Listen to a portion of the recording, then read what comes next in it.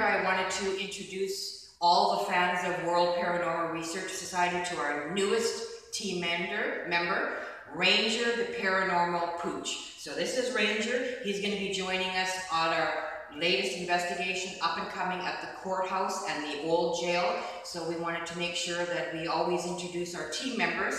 So he's actually come dressed for the occasion. We didn't know that, we didn't call each other. There was no memo that we said we're going to be in the same attire, but how fitting that we would both be in red plaid. So I think that's pretty awesome. So Ranger, the paranormal pooch, will be joining our team, World Paranormal Research Society, at our up and coming investigation at the courthouse and at the old jail. And it's going to be awesome. So we want to welcome him and let all the fans know that he'll be joining us in future gener- uh, investigations and uh, watch for further vid- videos on our newest uh, team member.